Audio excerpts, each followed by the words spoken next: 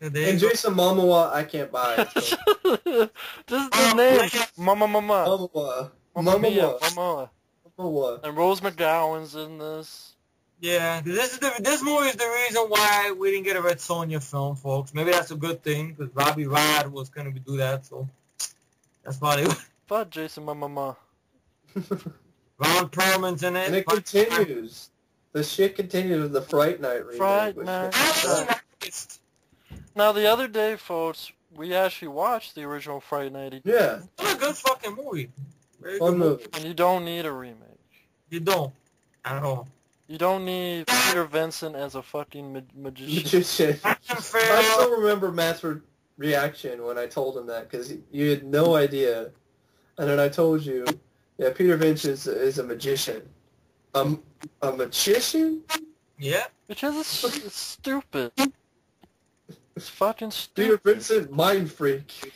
I don't care if the guy from fucking Chekov or whatever is. Anton Yelchin. I don't care if he's the lead.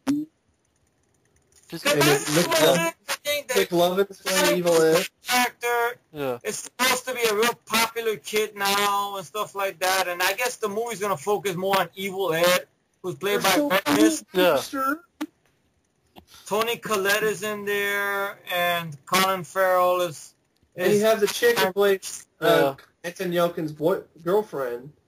She's not. She's already hot. So the whole thing that you have in the original, where Amanda Piercy is just cute. It's just, know. I mean, this is from the director of Mr. Woodcock. Yeah. Come on, Mr. Woodcock. The name alone. and his last name is Gillespie. Makes you wonder, huh? well, I know a lot of people are like, Like, uh, you know, I know we did last oh, summer. the writer, oh, the writer who did Buffy the Vampire Slayer is helping, you know, write this I don't know. Colin Farrell is no Chris Sarandon. He's, No. And it does, it's already been made, folks. It's called Disturbia. yeah. Yeah. For fuck's sake. And look, they try to do that again with the Stepfather remake, and that bombed. And I don't care if this film's rated R. It'd be rated R for rotten. It is rated R. Yeah, that's what it says. Well, Huh. Machete is rated R, and so is Predator. Not Predators. named for movies. Predatitties. Predator. Uh, Friday Night is just pi- is stupid. And there's not going to be a good DVD even if it comes out. It's just, yeah, they're stupid. I don't know. I just fuck. you would hope so. It's not like Fright Night flopped. Fright Night made a good amount of money in '85. I'm sure Yeah. it's going to get good reviews too, because it's just fucking typical. Yeah. Fuck that movie. Spike is for fuck you too. Yeah, Fuck you can't Bobby watch. Rod, Bobby Yeah, no. Rod, fuck, Danny, Danny Trejo. Trejo. fuck Danny Trejo, fuck Robbie Riley, and go fuck each Hey, other. bro, let me ask you something. It's called Spy Kids 4, right? Yeah. Now, am I- am I under the impression of this, right? Isn't Alexa Vega and the lead kid, ain't they fucking in their early 20s now? Where the kids come from? They're not kids no more. They're bringing new kids in, probably. Ah, fuck them then. They're a bunch of assholes. Robbie Rod's a dickhead. Jessica Alba's just sucking his dick together. I never, I never liked the Spy Kids movies. I mean, they just don't work. The first one is weird as fuck. I mean? They got walking thumbs. What were they high when they did that? Every- Yeah. all the sequels just didn't get me, you know? The third one was embarrassing because I'm pretty Stallone. Stallone probably did it because he wanted, was sick and tired of hearing his little girls yell at him, "Daddy, do Spy Kids, do Spy Kids." It is about new kids. It! There you go. It is about new kids. All right, I'll do it. I'll audition. Oh, do your dishes. Spy Kids 3. Oh, do I'll your do Spy dishes. Kids 3D. If you just shut up. Uh, fuck Spy Kids 4. Spy Kids go fuck it, though. Apollo 18. I saw the trailer. I'm not a big fan of Uh, I thought footage. this was coming in January of 2012. folks. Well, then fuck that. Don't be afraid of the dark. I The saw most- some photos of it, and I don't know. I mean, I'll wait till I see the trailer. Look like Here's the interesting thing. characters. What? Because you got you got Guillermo del Toro writing the script, and you got Matthew Robbins. Now Matthew Robbins, the same guy responsible for Dragon Slayer, I remember from back in the day, Hmm. and I think for Batteries Not Included. Hmm. Katie Holmes is in this. Guy Pearce, Bailey. Ma- I don't know who the fuck Bailee Madison is. But I know Kaylee. Ho- Oh, Katie- man, he directed Batteries Not Included. yeah, Matthew Robbins. Yeah, Okay. And I'm not sure if he was the director or writer of Dragon Slayer as well. I mean, Guillermo del Toro. Yeah, he I wrote and directed it. I wonder if this is that vampire movie Guillermo del Toro has been talking a lot about that he's working on. It's supposed to be I don't know if it's about a vampire, but I saw a photo of the creature and it looks good. It's practical from what I saw. Well, he's trying to bring back the old effects. I know he's trying to do this vampire movie. I don't know if this is it though. Don't Uh. Maybe I it's mean- actually based on the. Uh, I I don't. don't. I don't like Katie Holmes though. Well, man, she dies in the movie. You got Guy Pearce there. I, Yeah, I like Guy Pearce. Guy Pearce is good. You know, if he's in the movie a lot. I liked him in the Count of Monte Cristo. He was Guy good. Pearce Pearce is in uh, Hurt Locker, and it's a role you'll never forget. He's only in there for like ten Uh, minutes. but- I, I I've seen that. Yeah. Oh, he's in the Red Locker. Okay, Yeah. cool. I mean, I don't know. I'll I'll wait. I, it could surprise. I'll wait till like Netflix for that one. I, it could surprise me. Our Just idiot, with a title called Our Idiot Brother, I no. I fuck don't that. The depth.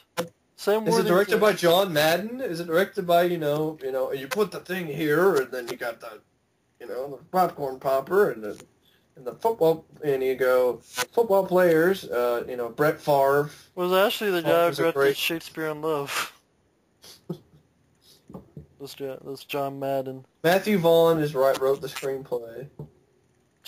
Well, I don't know. Fuck that. Okay, I Columbiana. interesting one Luke in here. Yeah. There's an interesting one in here I want to talk to you guys about.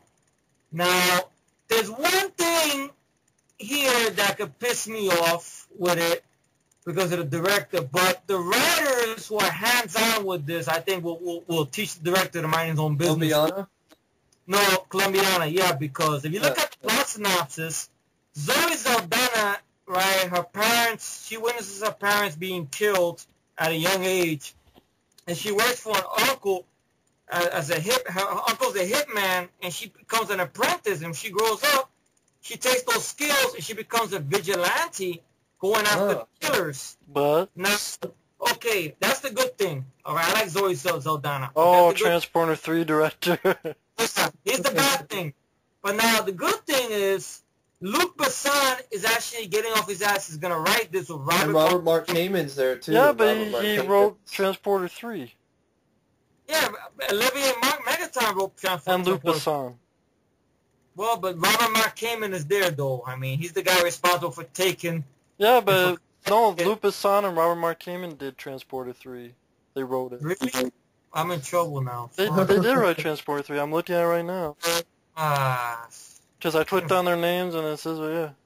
I clicked Well, every everybody screws up sometimes, you know. I don't think you'll drop the ball on this one because it's a vigilante story. Don't make no bullshit about fist in your face shit. Okay, yeah. The vigilantes getting revenge. Well, no bullshit. dollar- Shark Night in 3D. I, I'm avoiding that movie just because of the title. It's like, let's, oh, Fright Night's coming out. Let's call it Shark Night. It's, Yeah, Shark Night. I'm talking about the Colombiana thing. I know you guys didn't say much on it. well, Colombiana. I want to see a trailer. Yeah, Okay. I I'll want to see see a a trailer. trailer first.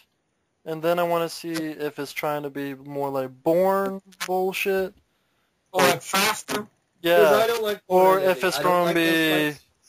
Like, I want to see what the action scenes are like. I want to see if it's going to be like more Luc Besson's earlier work, or is it going to be like Yeah, bullshit. Bourne Identity. CGI and Like, here's the problem with Bourne Identity, and I know I'm not the only one in this group. I just don't. I just the fight scenes suck. They're considered awesome, and I don't understand it. They're just they're not. I don't think they're that great. But Luc Besson I also wrote Unleashed. Yeah, I mean, he had a hand in writing Kiss of the Dragon. So what about? that's what I mean. I want to see a trailer first to see how the action is. If it's going to be like Yeah. Salt, then I yeah, want to see it. like. Please, I hate salt. Especially with, never mind. Yeah, Mar- Robert Mark Salt, Kamen. I, I'm sorry, Salt has some good action sequences for me. Yeah. Robert Mark Kamen. I mean, I I listened to the commentary he did for Taken. His his version of the movie actually was a more violent film than what we got. Because he had a more like little more over the top explosions in the film, like Commando style he talked about. But Luc kind of simplified it a little bit. Oh, he wrote fucking Cry Kid 3. Ugh. Well, Uh, Well, he wrote the uh, first two films, but he wrote Karate Kid 3. well, he's had Karate his Kid 3, I don't understand it. Like, why did they write that script? Like, let's have, like, for the money. Two for the money, one for the show. because can you imagine Karate Kid 3 if they did it right? But yeah, they I did mean, it right. he, some good, some bad. I mean, he wrote. Kiss of the Dragon. That was good. Yeah. Yeah. Anyway, There's a Shark- 50 uh, 50-50. I see a trailer, I'll know more.